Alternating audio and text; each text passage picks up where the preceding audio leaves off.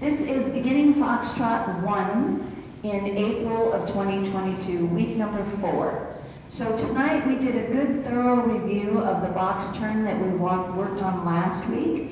We started in dance, excuse me, in dance position, and we broke it down into measures of slow, quick, quick. We went slow, quick, quick, slow. She goes under, quick, quick, slow, quick, quick, and slow, quick, quick. What the ladies want to remember again in this is not to turn too quickly. You're going to follow that hand above your head as he sends you under right here and keep control of your arm and that'll tell you when to face him. You're not actually, actually facing him in that turn until the quick quick of the third measure. And then he picks you up on the fourth measure. From there, we learned another way to travel. Right now we have our basic traveling step, we have our promenade, and tonight we did a zigzag often uh, also could be referred to as quarter turns. We started on the line of dance, and the leader, the rhythm is slow, slow, quick, quick.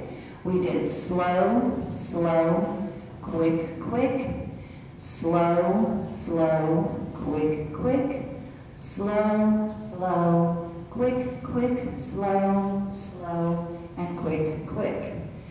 If we were on the other side of the room, the same thing we would be doing slow, slow, quick, quick, slow, slow, quick, quick, slow, slow, quick, quick, slow, slow, quick, quick. You want to remember when you're doing your quarter turns to do your brush. Okay? If you notice, while he's finishing the turn after the second slow, I'm doing a brush here so he can get his rotation through. And again here, I'm doing a brush. If I step, and so is he, if I step too soon here, I cut off his rotation. So make sure that you collect yourself, ladies, as you're backing out. Right here, collect, and then do your quick quick.